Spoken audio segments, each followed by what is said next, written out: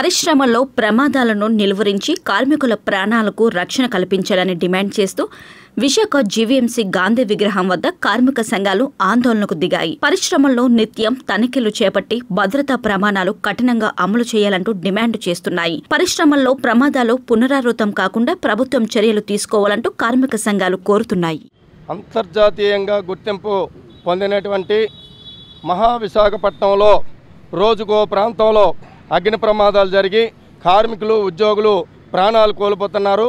ముఖ్యంగా విశాఖ నగరంలో LG polymers కానీ పరవాళ్ళలో జరిగినటువంటి ప్రమాదాలు కానీ పోర్ట్లో జరుగుతున్నటువంటి ప్రమాదాలు కానీ ఇవాళ హోటల్స్లో కూడా అత్యంత ప్రమాదకరమైనటువంటి పరిస్థితులు దాపురించాయి. దీనివల్ల రాష్ట్ర ప్రజలందరూ కూడా తీవ్ర భయం ఆందోళనకు గురవుతూ ఉన్నారు.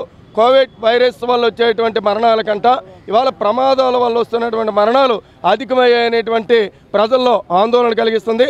ముఖ్యంగా విశాఖపట్నం పరిశ్రమల్లో జరుగుతున్నటువంటి ప్రమాదాలకి ప్రభుత్వం లేదా ప్ర పరిశ్రమల యొక్క అధికారులు తక్షణమే చర్యలు తీసుకోవాలని చెప్పి ఈ ప్రమాదానికి బాధ్యులైనటువంటి యాజమాన్యం మీద చిన్న చిన్న చట్టాల మీద కేసులు పెట్టి జైలుకి పంపించి బెయిల్ ఇస్తున్నారు.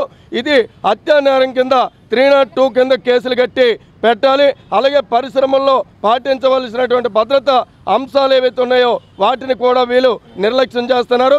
వీటికి ఉన్నటువంటి పర్యవేక్షణ కమిటీ అనేటువంటిది నాలుగు గోళ్ళ మధ్యలో ఉంది తప్ప అది ఎక్కడ పరిశ్రమల్లో ఫిజికల్గా చెక్ చేయట్లేదు. అందువల్లే ఈ ప్రమాదాలు జరుగుతున్నాయి కాబట్టి ఈ ప్రమాదాల నివారణకి వెంటనే ప్రభుత్వం పరిశ్రమ అధికారులు వెంటనే చర్యలు తీసుకోవాలని చెప్పి అఖిలపక్ష కార్మిక సంఘాల ఆధ్వర్యంలో ఈరోజు విశాఖపట్నం గాంధీ బొమ్మ దగ్గర ఈ నిరసన కార్యక్రమం చేపట్టాం.